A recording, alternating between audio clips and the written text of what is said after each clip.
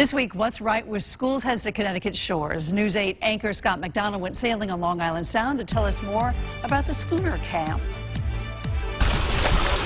Ready for launch. Pull the tiller toward you. It's the second year the New Haven Land Trust It's really fun because you get to try out new things. has been running the schooner program in New Haven's harbor. I like that you get to just explore the ocean. 80 kids on the water for eight weeks, 4 to 14 years old. Straight. Keep it straight. Good.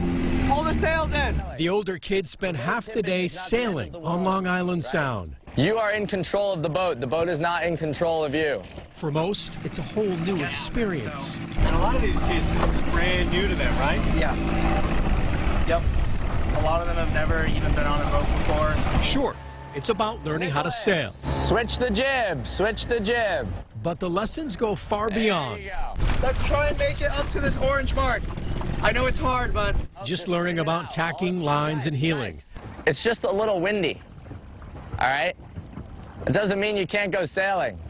They say calm waters don't make good sailors. The ability for them to um, build character, get more confidence, work as a team through that experience is really magical to see the kids doing that. And these themes are taking sailing. It's actually like something I can do. They're taught by college students, like Enoch from West Haven, keep it in the middle. You got this. now attending UConn.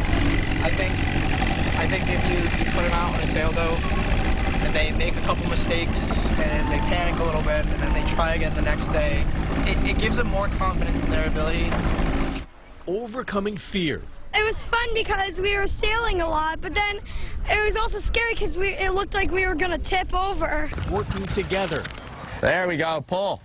Everyone together. getting the wind behind their back, and getting firsthand experience on how to navigate when life gives you some rough waters.